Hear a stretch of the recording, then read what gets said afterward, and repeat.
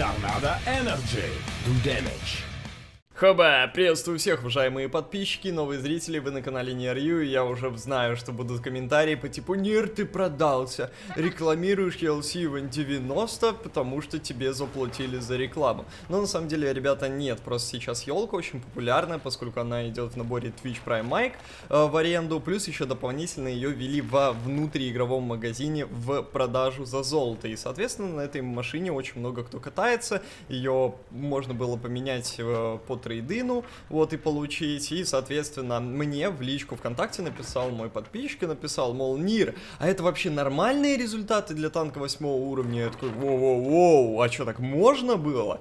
И решил посмотреть реплей, посмотрел реплей и решил сделать видос, потому что я считаю, что э, данный реплей заслуживает того, чтобы вы его увидели. Итак, играет он на ELC Van 90. Я ее называю пипетка. Ну, потому что она реально как пипеточка такая, просто маленькая. У нее, э, у нее пушечка как пипеточка. И плюс еще дополнительно ко всему она напоминает, знаете, вот этого дроида из э, Звездных Воинов, как там, R2-D2 или как он там назывался. Короче, маленький такой дроидик, который висит на спине у джедая. Забавно, забавная э, модель моделька данного легкого танка, и в целом он весь такой незаметный. То есть это самая незаметная ЛТшка среди всех легких танков вообще в принципе World of Tanks.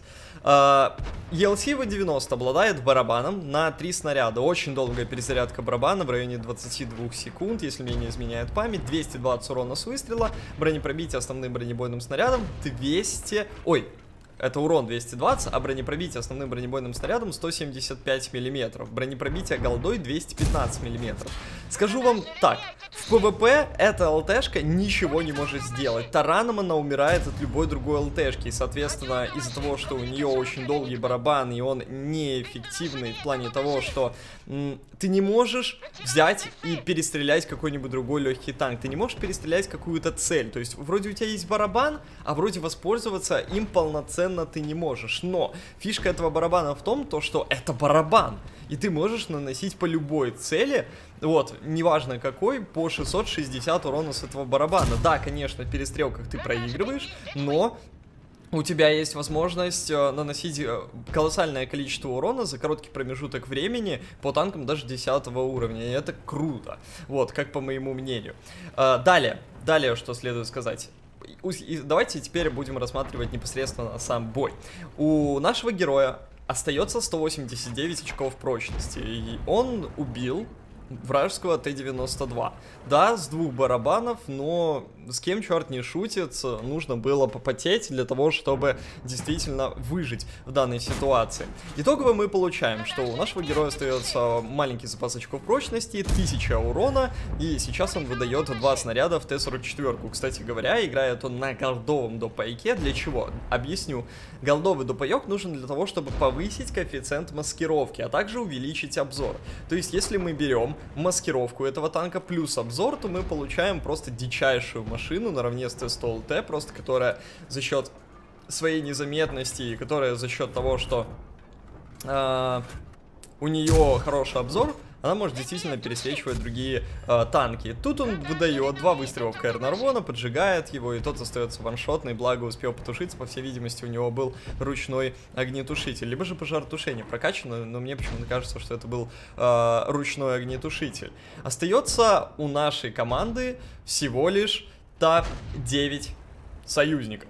Вот, ну, включая нашего героя, естественно. А у врагов целых 11. Сейчас он будет добирать э, ФВ-4202, и ситуация на самом деле не самая благоприятная. Объясню почему. Итак, смотрим. Э, СТРВ-81 ваншотный, объект 416 ваншотный, ТС-5, его окружают со всех сторон, плюс Лорайн 40Т стоит в невыгодной позиции, ПТшка стоит на кемпе, и два танка у нас находятся на первой и второй э, вертикали, что, соответственно, ну, первой, второй, третьей вертикали, что, соответственно, э, означает означает, что они не могут помогать своей команде в центре карты. Наш герой стоит сверху, он тоже ваншотный, ему нужно постараться максимально возможным образом разменять своих союзников. Забирают Карнарвону уже хорошо.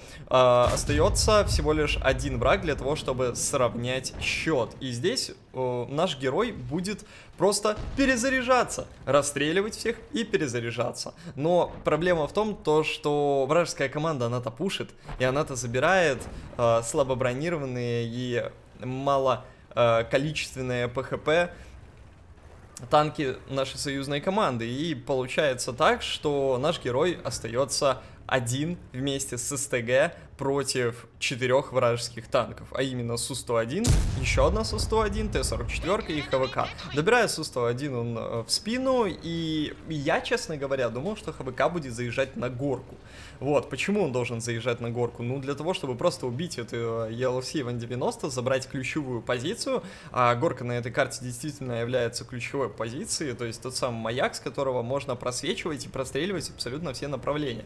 Вот, СТГшка у нас здесь стоит в квадрате J5, она контролирует, соответственно, центр карты, так, чтобы Т-44, скорее всего, не уехала, или Су-101. Подставляется Су-130ПМ, я, правда, не понимаю, вот уже несколько танков сдохло на центре от этой маленькой елочки, и почему нельзя додуматься, не подставляться под нее? И тут Борщ едет на СТГ, выдает ему один выстрел, и Первый снаряд заходит в борща. Очень хорошо целится. Второй снаряд заходит в борща. И третий снаряд заходит в борща. Кстати говоря, это ББшки, и они летят неплохо. Вот, э, мы сами могли заметить, что дистанция была очень большая, и ББшки все равно достаточно быстро летели. То есть скорость полета здесь нормальная. У них под калибра, соответственно, я думаю, еще больше. Су-101 поднимается тут на горочку. Его нужно убить. Ситуация 3 в 4. Но наш Су-130ПМ, он, скорее всего, должен, по идее, сдохнуть от вражеского Су-130ПМ, потому что, ну, в невыгодной позиции находится, конечно же. И тут Т-44-100 Ростелекомовский залетает на горку. И обязательно, обязательно нужно поставить его на каток. Нет, выдает выстрел. И Су-130ПМ оформляет фраг свою копилочку. Застраховала нашу ELC-190. 3200 урона у нашего героя. сейчас нужно каким-то образом убить Су-101. Он ее выжидает. Опять же, играет он на ББшках, а Су-101 очень тяжело пробить. Как в верхний бронелист, так в рубку, там нижний бронелист тоже достаточно бронированный. Особенно учитывая то, что он стоит сверху вниз. Тяжело будет пробить Су-101. И нужно что-то вот придумать так, чтобы либо помочь Су-130ПМ, либо же убить Су-101. Он тут подсвечивается Су-130ПМ вражеский. Он выдает в него первый выстрел. Выдает, соответственно, второй выстрел. Кстати говоря, точность вполне себе вменяемая. И тут на него может поехать в любой момент Су-101. А что же делать? Нужно перезаряжаться. В захвате базы стоит ИС-3. Су-130ПМ, очевидно, она будет ехать через первую, вторую вертикаль для того, чтобы... Идут Су-101 выезжает просто прям в лицо. Он мог его убить, если бы взял автоприцел, лучше бы довернул корпус, но маленький R2-D2 из Звездных войн просто берет и объезжает. Су-101 здесь очень неуклюже, крайне криво пытался объехать вражеский ФВ-4202 ему не удалось, и тут, э, скользя по э, серпантину, вылетает наш ELC-190 и будет пытаться сбивать захват базы. Остался он один в 3, у него было 3500 урона.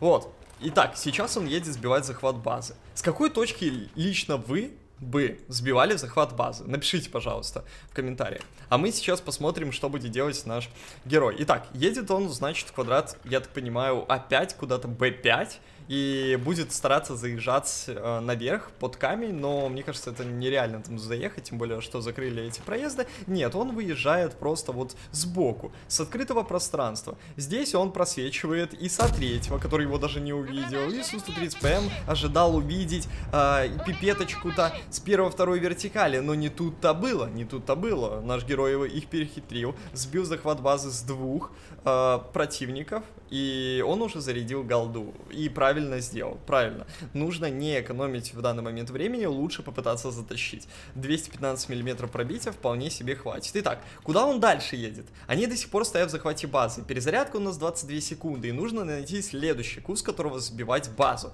Еще раз, ребята, второй раз, с какого бы вы куста сбивали базу?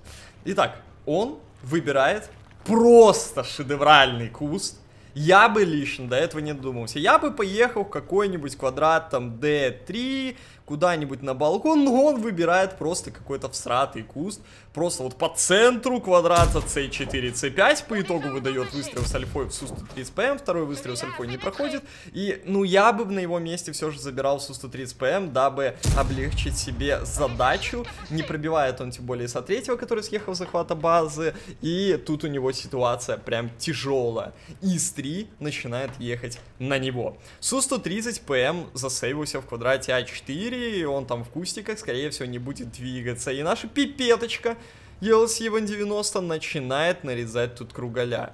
ИС-3 его не светит. Какая же читерная маскировка у этого танка. Дистанция каких-то там 230-250 метров, а он не светится. Да, дед э, слепой. Но все равно вы понимаете, что этот танк может кататься у тебя прямо перед носом на дистанции 330 метров, 340 метров, и он, и ты его не засветишь. Даже если у тебя крутой обзор, ты его тупо не засветишь. Это просто пушка. Итак, что делает наш герой? Он разводит ИСа-3, который поднимается наверх, э, ближе к центру карты, и объезжает через первую вертикаль, вот, подсвечивает данного ИСа-3, объезжает через первую вертикаль, постарается забрать Су-130ПМ. Но проблема в том, что у Су-130ПМ тоже есть хорошая маскировка. Плюс еще дополнительно к этому ко всему он может играть с маскировочной сетью, и это будет действительно проблематично добрать этого Су-130ПМ. Э, итак, не выезжает он с квадрата B2 правильно, нужно сократить дистанцию для того, чтобы э, расстояние от э, нашего Ван 90 до засвета Су-130ПМ было адекватно. И Су-130ПМ стоит так, что он для нашего героя в конкретно данной позиции не было за кустиком. И отличнейшим образом ELC Ван 90 тут... Опа, опа, что он делает? О, смотрите, что он сотворил! Вы это видите? Вы я еще раз хочу показать вам этот момент. Смотрите, после того, как он убил Су-130ПМ, ребят, он со свете съезжает вниз, Истри его видит, он едет, типа, подниматься как будто на горку, и сейчас смотрите, что происходит. Он отсветился, Истри уже выезжает, чтобы его убить, и наш герой сейвится вот за этим деревом. Из-за этого его Истри не видит он отдаляется от этого дерева на дистанцию, даже э, чтобы в чистом поле его не засветил из третий, поднимается наверх и из три его не светит. Господи, это шедевр! Тут пытается он отстреляться по данному ИСу третьему, и э, давайте перемотаем, что же будет делать наш герой. У, уезжает он через ту же самую точку, через которую приехал. Здесь ИС-3, пытается его найти, но это все тщетно. Я, правда, не знаю, зачем он так криво стреляет, расходует свои подкалиберные снаряды, но уезжает он наверх, пытается найти этого ELC в N90, и наша пипеточка здесь его подлавливает. Да? Да, подлавливает. Тут Бартина едет этот истри. Ну как же ты криво стреляешь, мужик? Ну, сведись ты нормально. Да, отлично, ВЛД дал. Сейчас дед, прикинь, кинет с вертухи. Я... Он его маску, что ли, пробил? Вроде бы нет. Бронебойный снаряд заряжает пипетка, и теперь нужно что-то придумать. А проблема в том, что снарядов почти нет. И этот из третий катается просто как дурачок по центру поля, но проблема-то в том, что голдовых снарядов нет, он их просто взял и все в молоко расстрелял. Непонятно почему. Санек 100-500 э, тысяч, это такое себе. Из третьей здесь все уже психует, вертухи какие-то вкидывает. И на каток выстрел с ББшечки вот этой вот э, православной закидывает и остается ваншотным из третьей. Это клево. Может зарядить, кстати говоря, один голдовый снаряд, и я бы на его месте все же зарядил один голдовый снаряд, потому что, ну, бронепробитие у него все же выше. А тебе нужно дать всего лишь один выстрел этого ИСа третьего для того, чтобы его убить. Обманывает он, уезжает как бы на вторую, третью вертикаль, этот из третьей, скорее всего, будет сейвиться, и нужно его искать. Остается 50 секунд до конца боя. Выезжает он в чистом поле, ну мог же от кустика сыграть. Не попадает, не попадает выше третьего и... Что же будет...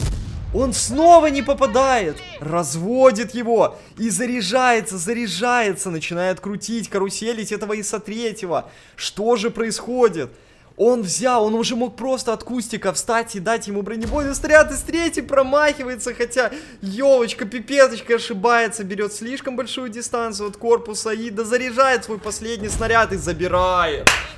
Красавчик. А вот если бы сразу же зарядил под калибр, то смог бы э, точно убить этого ИСа третьего. И смотрите, он прям смотрит вам в глаза. Вот это вот маленький... Э, маленький дроид из Звездных воинов. Ну, ребят, с вами был я, Нерью. Что вы думаете об этом э, боя, что вы думаете об данном легком танке, пишите, пожалуйста, в комментариях. Э, я на этом с вами прощаюсь.